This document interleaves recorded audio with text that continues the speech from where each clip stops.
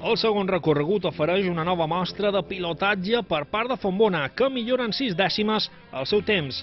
El pilot asturià suma en el seu impressionant palmarès la pujada en el Puig Major 2015. Al podi l'acompanyen Francesc Moner i Santi Guitart, un calaix ple de grans noms i que llueix de manera total en la presència del Fórmula Reinhardt de Toni Bausà i el Ford Fiesta Proto de Quique Perelló.